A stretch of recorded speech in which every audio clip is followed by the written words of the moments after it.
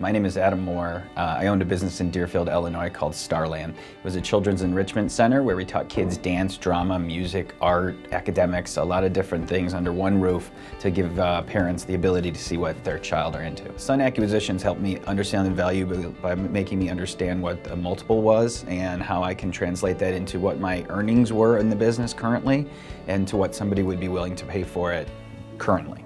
Um, so he helped me walk through that process and he got it pre-approved from a bank. My primary concerns were confidentiality.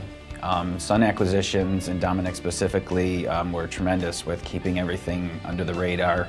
Um, no one at Starland knew, none of my employees, none of my customers, which would have been a real hard transition. Selling a business themselves I think would be very challenging. There were so many pieces to it where I had to call and ask somebody some information. And if I didn't have that network to to, do, to get that help, I would have been probably eating up in lawyers' fees or something else. I mean, that would have been tough. I was very well represented by Sun Acquisitions. Dominic was top notch and he really walked me through the whole process. Him and his staff here, they were really, they handheld you the whole time.